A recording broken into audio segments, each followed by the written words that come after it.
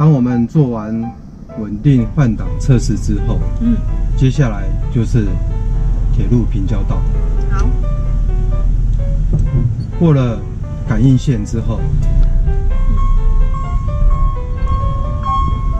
在停止线前停车，好，等我们的警示灯消除之后，嗯，再起步。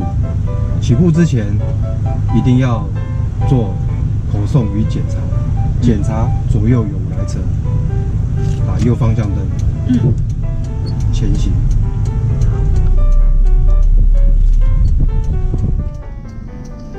这边又有一个路口，检查左右有无来车。